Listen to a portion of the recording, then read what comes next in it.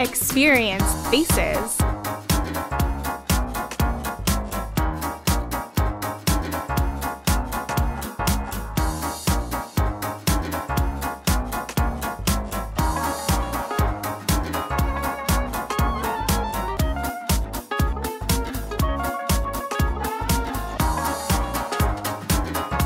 Everything you've always loved, plus more. Faces, downtown Northampton.